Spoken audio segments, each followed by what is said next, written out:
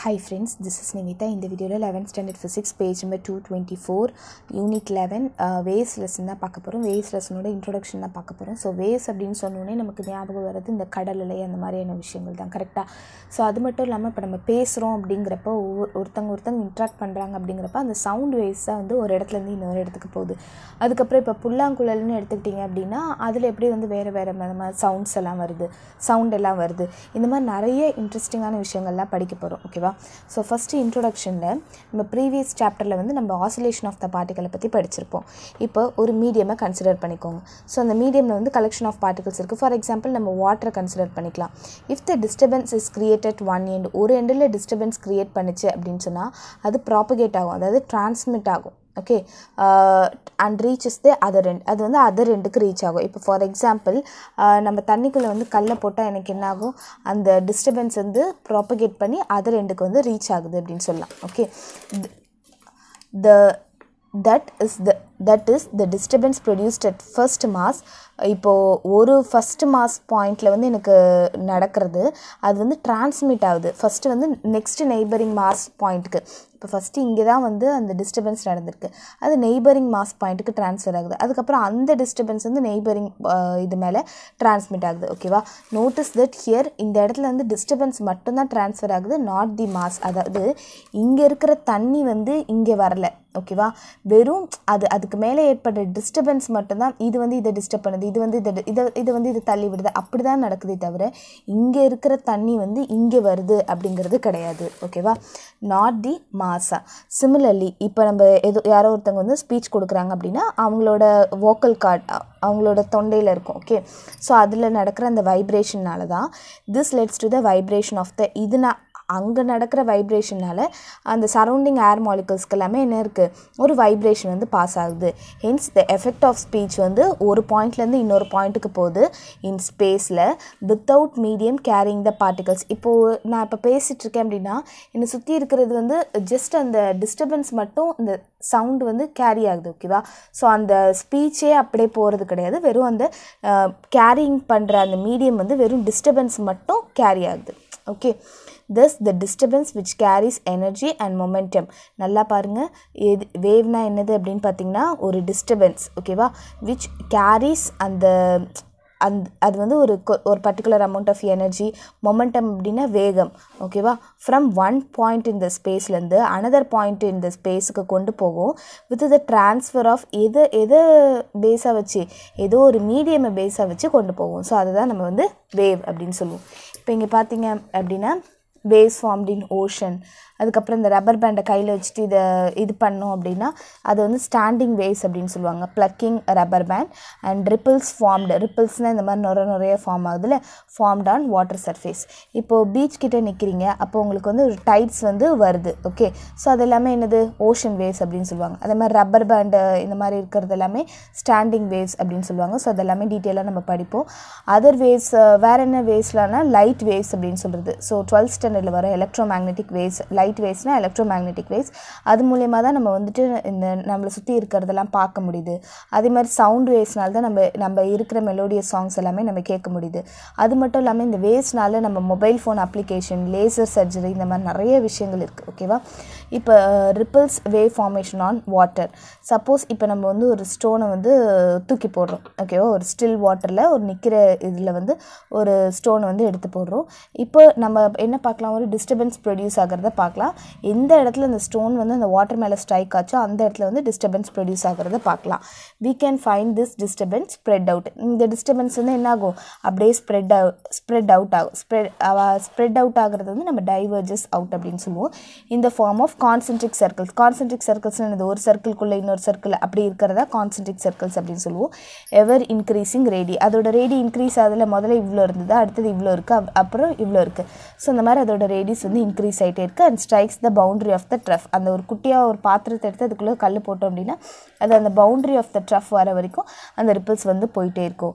This is because some of the kinetic energy of the stone is transmitted to the water molecules on the surface எப்போ எப்படி அப்படின்னா அந்த ஸ்டோனில் வந்து ஒரு particular amount of kinetic energy இருக்கும். அது வந்து என்ன ஆகுது? அந்த வாட்டர் மாலிகல்ஸ்க்கு டிரான்ஸ்மிட் ஆகிறதுனால தான் அந்த ஒரு ரிப் ரிப்பிள்ஸ் அப்படிங்கிறது வருது. ஓகேவா actually the particles of the water themself do not outwards அதாவது இப்போ இங்கே இருக்கிற பார்ட்டிகல்ஸ் வந்து இங்கேருந்து அப்படியே இங்கே போகல. ஓகேவா வெறும் அந்த டிஸ்டர்பன்ஸ் மட்டும்தான் கேரி ஆகுது. இது நீங்கள் எப்படி பண்ணலாம் அப்படின்னா இந்த மாதிரி இந்த மாதிரி ஏதோ ஒரு வாட்டர் சர்ஃபேஸ் இருந்தது அப்படின்னா அதில் வந்து ஒரு குட்டி பேப்பர் போடுங்க ஓகேவா ஸோ குட்டி பேப்பர் போட்டிங்கன்னா அந்த பேப்பர் வந்து மேலே போயிட்டு கீழே வருமே தவிர அந்த பே இப்போ நீங்கள் இங்கே போட்டிங்கன்னா அந்த பேப்பர் இங்கே வராது. சும்மா மேலே போயிட்டு கீழே வரும். பிகாஸ் உங்களுக்கு தெரியணும்ல இந்த தண்ணி வந்து இங்கே தான் இருக்கா அல்லது இங்கே போதா அப்படின்றது தெரியணும்ல.